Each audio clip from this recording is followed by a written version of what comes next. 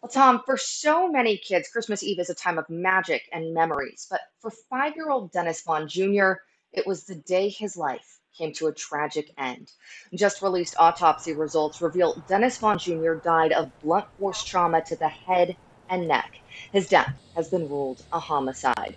The Attorney General's office says Dennis was at a home on Blueberry Lane in Laconia on Christmas Eve. He was with family, including several of his siblings at the time. At this point, there have been no arrests, but the investigation does continue. That day, that same day, um, December 24th, 2019, the medical examiner did conduct an autopsy. Um, additional studies and investigations were required. And the investigation is continuing tonight. If you have any information that could help, call state police.